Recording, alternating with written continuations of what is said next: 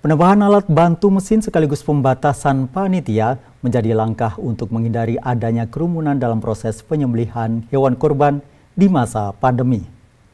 Penggunaan alat bantu mesin dalam proses penyembelihan hewan kurban dilakukan di berbagai wilayah. Salah satu di antaranya adalah di Gedung MTA Cabang Kartosuro 1, Sukoharjo yang menjadi lokasi penyembelihan bagi panitia kurban MTA Pusat 1.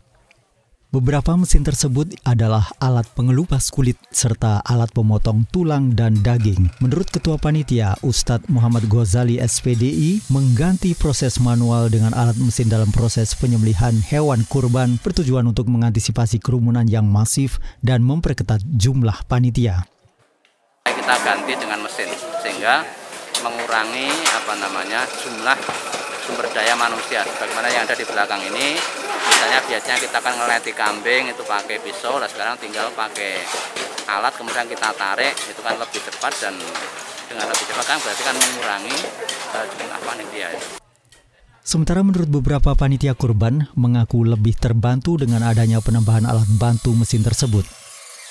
Membantu dengan mengurangi energi yang dikeluarkan dari kawan-kawan simetel ya yang motong tulang itu ini ya perbandingannya hampir mengurangi tenaga 30 persen lebih.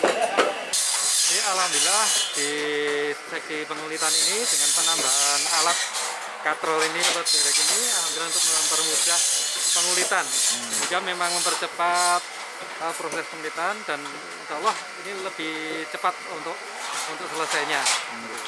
Nantinya sebanyak 115 sapi dan 750 kambing hewan kurban akan diselesaikan selama empat hari hingga Jumat mendatang. Dari Sukoharjo, Jawa Tengah, Muhammad Hasan melaporkan.